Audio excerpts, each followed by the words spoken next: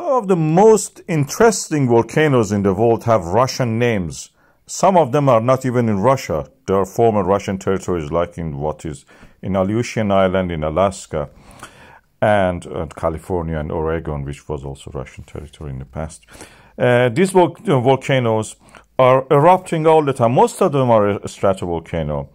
Uh, and uh, uh, Bezymianny and this one, which is the uh, not active at this stage, are among the most interesting one because they can disrupt the North uh, Pacific uh, aviation, as you can see from this satellite image.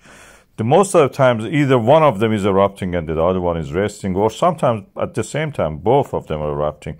This is the Klyuchevskaya, which is the tallest volcano in the Eurasia, which is active. Of course, the tallest volcano in Eurasia is Damavand. It's not active at the moment. It's relatively quiet, and uh, it can erupt in the uh, in any manner. Uh, Bezymianny, which means nameless, nameless volcano or unnamed volcano, is more active at this stage. It is very similar to Mount St. Helens when it erupts. It can cause more disruption than the Klyuchevskaya. I have a video about the uh, which nicely summarizes as a reference all that we know and is important about this fascinating volcano. There is a volcano when the rest of the world is sleeping, it awakes and erupts. This is the Bezymianny volcano in the Russian Far East in Kamchatka Peninsula. As you can see, there's huge ash plume rising to the stratosphere, actually reducing the height of this every time it erupts. But uh, it has other kinds of eruption, felsic eruption, which adds to the height of it, uh, compensating for the loss of the mass and height. During the daylight, this is what you will see. Huge eruption. Mount St. Helen, if you remember it, 1981.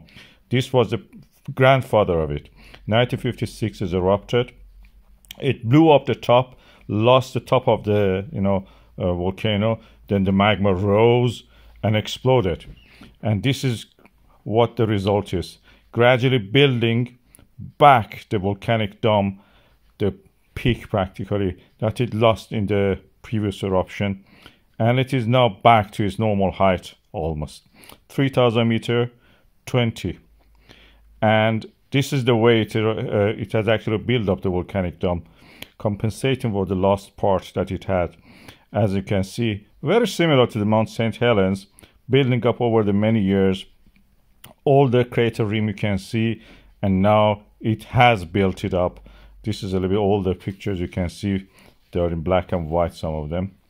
The volcanic dome is there. It's part of the uh, Indo-Pacific Ring of Fire, Bezymianny volcano, one of the most dangerous volcanoes in the Kamchatka. It affects the climate in a way that uh, many of the Ring of Fire volcanoes will actually not doing like that.